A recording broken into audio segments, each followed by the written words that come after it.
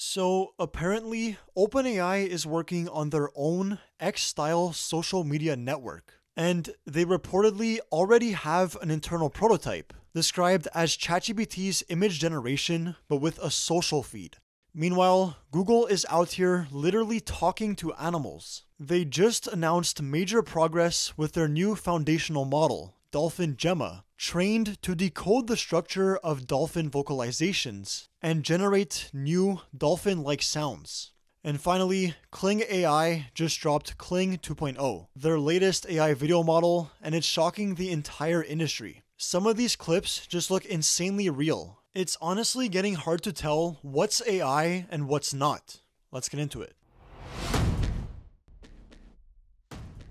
So, starting with OpenAI, this week has been massive for them. They dropped GPT 4.1, a family of three models designed specifically for developers. These models support up to 1 million tokens, the largest context window OpenAI has ever released. They're also insanely cost efficient and even outperform GPT 4.5 on the majority of benchmarks. Then, just a few days later, they dropped O3 and O4 Mini, their latest reasoning models, which have basically hit state of the art across the board. From coding and math to instruction following, even multimodal reasoning. They also represent a new generation of AI models, where tool use and agentic capabilities are built right in. Now, I already covered these releases in separate videos this week, so we won't dive deeper into them here. But one announcement that kind of flew under the radar OpenAI is apparently planning to build their own social media platform. So, just off the bat, you might recall that Sam Altman actually tweeted about this relatively recently. In response to reports that Meta was planning to release a standalone AI app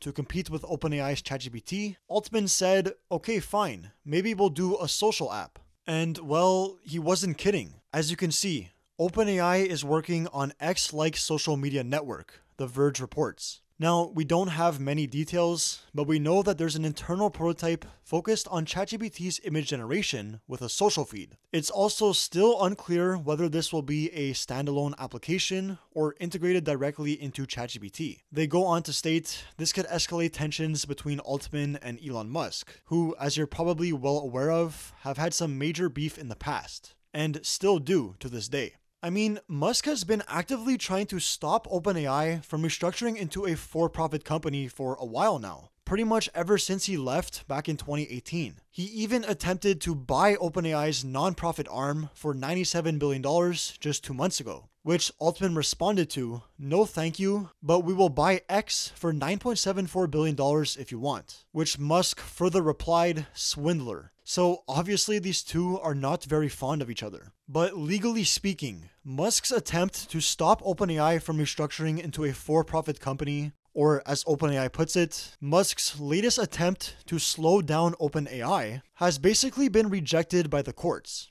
Although, in fact, just recently, less than one week ago, it came out that a group of OpenAI employees are actually backing Musk's lawsuit against OpenAI. According to Reuters, a dozen former OpenAI employees filed a legal brief on Friday, April 11th, backing co founder Elon Musk's lawsuit aimed at keeping the nonprofit status of OpenAI. So, without getting too much into it, what's clear is that this won't be the last we hear of this. I mean, not only the feud between Sam Altman and Elon Musk, but the idea of OpenAI straying away from their nonprofit open history. I mean, come on, their name is literally OpenAI. And they're basically the only big AI company left who hasn't dropped an open source model. I think the pressure is getting to Sam Altman though, especially now with the reports of a dozen OpenAI employees backing Musk's lawsuit. Because in his most recent interview, he seemed to have a different tone and was really emphasizing their new plans to release a frontier open source model. Check this out. I think open source has an important place. Um, we, we actually just last night hosted our first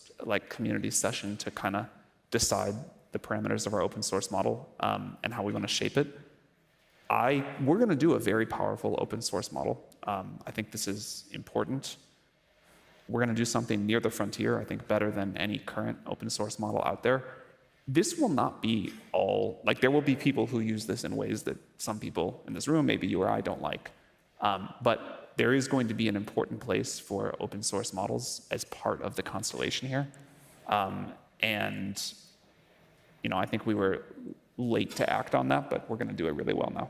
So that would be pretty interesting. If OpenAI just drops an open source model better than anything Meta, Mistral, or anyone else has released so far. DeepSeek 2, I mean, it would definitely shake up the AI landscape. But back to the report on OpenAI's social media network. If you were maybe wondering, why would OpenAI want to build a social media network? Like, are they trying to compete with X or Meta? Just why would they want to do this? Well, the answer is yes. They are trying to compete with Meta and X and Google and pretty much every tech slash AI company out there. But there's also a data angle. I mean, think about it. The amount of personal data Meta and even XAI has access to, thanks to their social media platforms, is way beyond what OpenAI could ever hope for. Now, granted, OpenAI is starting to build its own kind of moat of personal data as well, especially with their latest memory update, which allows ChatGPT to remember all of your past conversations. But again, the amount of high quality and personal data, for example, Meta has access to with Instagram and Facebook, is going to be a major advantage as these AI systems become more personalized. And as the demand for more personalized and contextually aware AI systems increases. So, I mean, OpenAI is just playing chess. They're making moves, they're looking to make moves, and I wouldn't be surprised if they go ahead and do this. But now, this brings us to OpenAI's largest competitor, the giant they've been aiming to take down ever since they started, and the giant that's been focusing more and more on AI. If it wasn't obvious enough, I'm talking about Google. Now, Google has really started to take their AI game seriously lately. They dropped a ton of stuff last week, which we covered, like Agent Space, the Agent Development Kit, the Agent to Agent Protocol, and of course, last month they released Gemini 2.5 Pro. Gemini 2.5 Pro is arguably the best coding model available.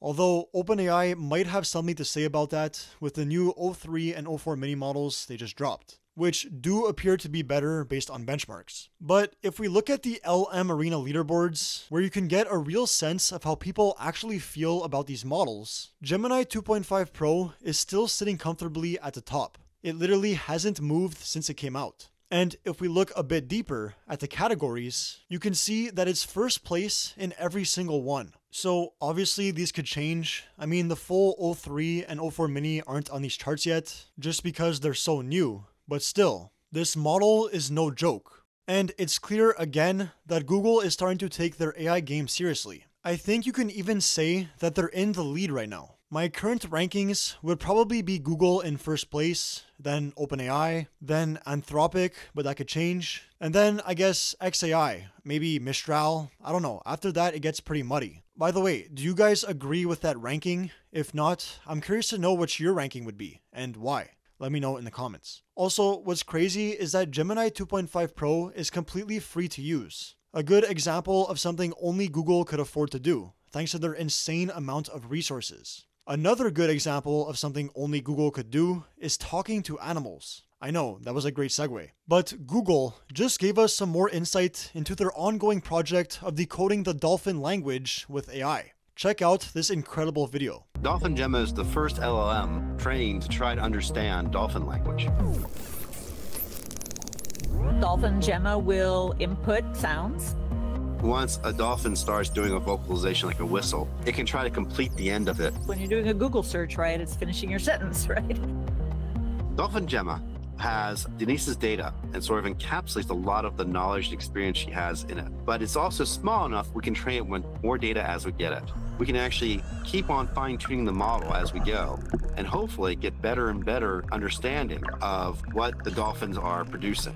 We do not know if animals have words.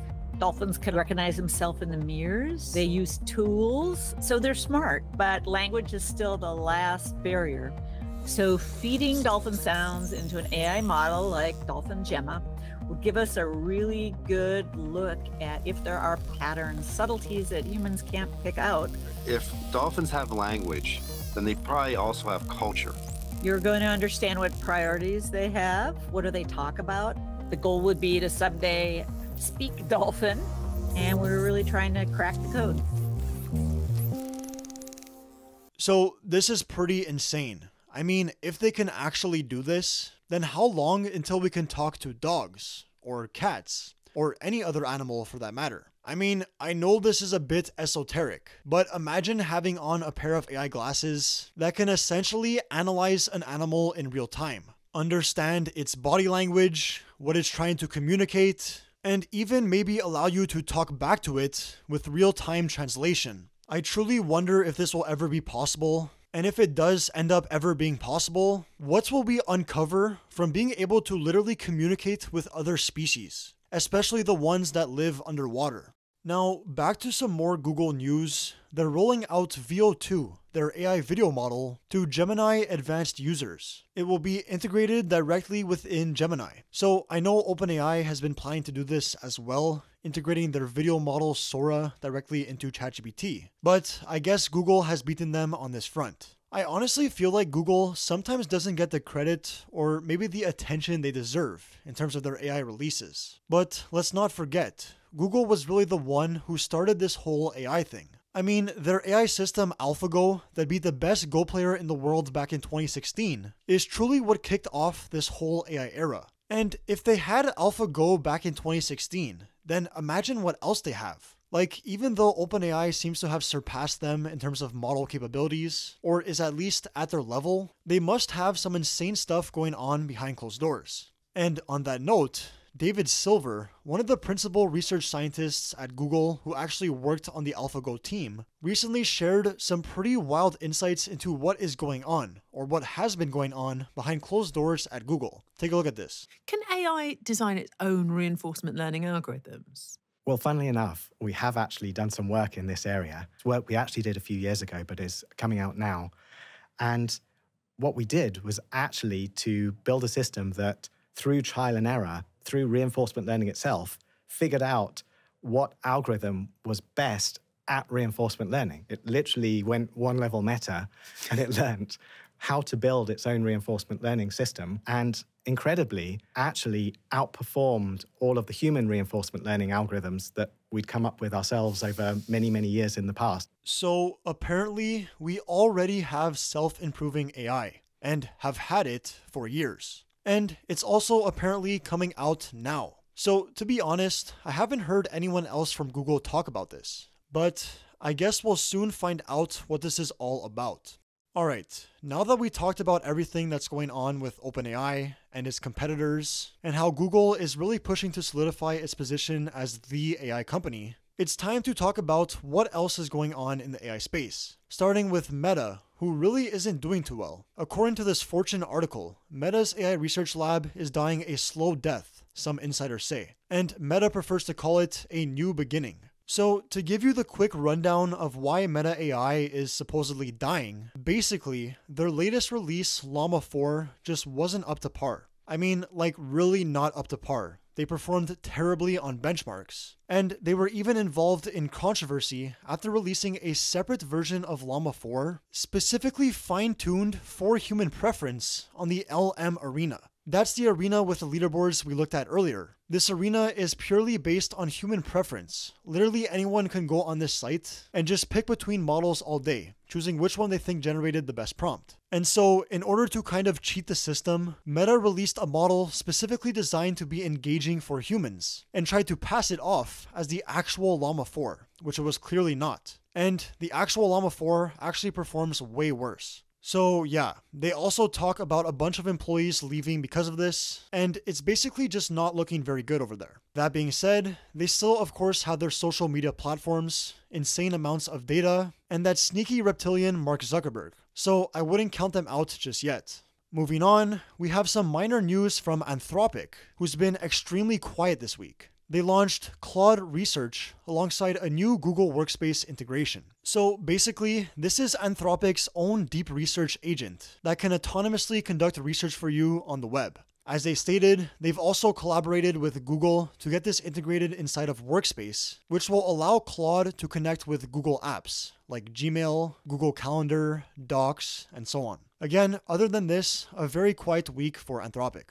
Finally, we have to talk about Kling 2.0. If you haven't heard of Kling yet, they're one of the biggest names in AI video generation. They've been pushing the limits of what's possible for a while now, and their latest release, Kling 2.0, takes things to a whole new level. I mean, just look at the level of detail and hyperrealism in some of these clips. We're truly past the point of does it look realistic? And are now asking, how is this even AI? The movement is fluid, the lighting is spot on, and the textures, from skin to reflections, are just insane. Other than the insane realism and how incredible these clips look, they did introduce a few new control tools like multi-elements editor and image restyling. But overall, I think just the quality and believability of these generations is what truly makes this release so insane. Like, I don't know guys, am I overreacting here or does this truly feel like a major leap forward? Anyway, this video is already getting super long, and I still wanted to play you guys just one more clip.